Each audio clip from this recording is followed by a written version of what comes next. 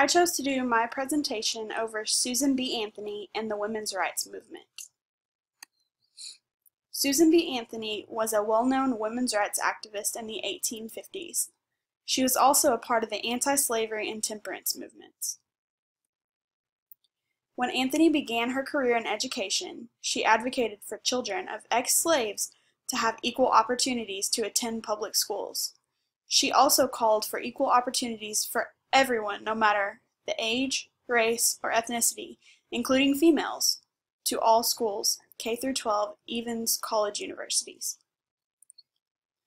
Anthony was passionate about fighting for women's rights. She was very eager to make change in not only her life, but also helping women across the world. In Susan's days, women were supposed to stay at home and do the household chores and take care of the family. Women were not allowed to work, but they were allowed some education opportunities. Women had also had no rights to vote. In the process of fighting for change, she decided that she was going to vote, even though it was illegal. She was arrested in 1872 and was tried and convicted. She wrote many articles and books about her journey through the women's rights movement. She rallied for petitions against the state and national governments to campaign for women's rights. She also raised money to personally help other women to be financially able to attend college for a good education that she believed everyone deserved a chance at.